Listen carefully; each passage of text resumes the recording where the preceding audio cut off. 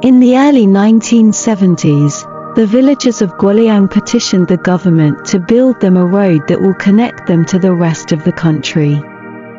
Their village was located on a steep mountaintop, and the only way for people to reach or leave the village was a steep and narrow staircase called the Sky Ladder. It was very difficult to negotiate down the staircase, which was often slippery and even the most sure-footed of Guoliang villagers have a hard time using it.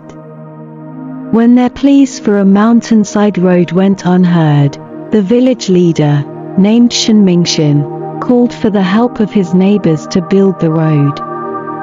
Using hand tools, 13 Guoliang villagers embarked on the construction of the road.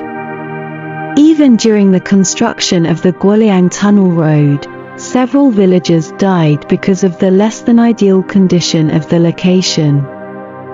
The road construction began in 1972, and five years later, the villagers of Guoliang had their own road, a tunnel road carved right into the face of the Taihang Mountain, around a mile long, 16 feet in height and 13 feet in width.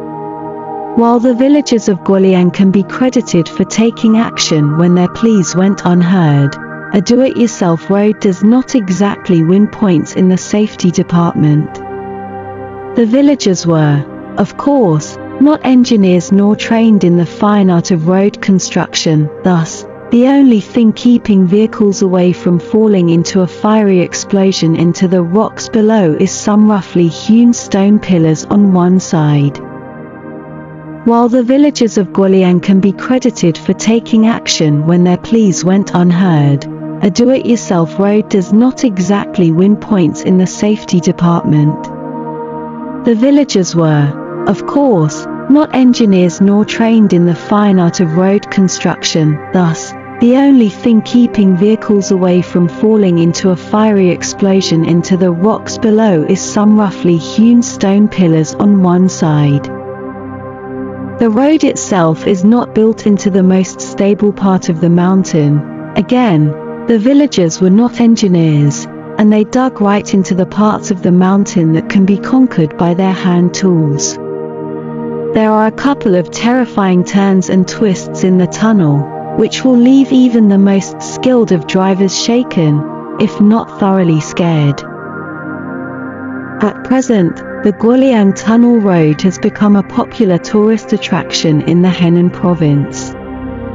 Many tourists enjoy the novelty of passing through a DIY mountain road, as well as the majestic views of the mountain peaks covered in mist, just like in the exquisite Chinese ink paintings. The Guoliang Tunnel Road is one of the major attractions visited by tourists from different parts of the world when China, a noted xenophobic territory, opened its doors to international travelers. While the view from the tunnel's windows are definitely exquisite and unforgettable, the Guoliang Tunnel Road is known for being a road that does not tolerate any mistakes. While the road has yet to endanger motorists for its DIY construction, Plenty of drivers have met their end because of neglect and by underestimating the difficulty of the road. When driving through this tunnel road, drivers have to prepared and can deftly handle the vehicle you are driving. Even the most minor of mistakes can endanger their life, and instead of an unforgettable trip through a feat of local workers, somebody might end up in a hospital, or worse.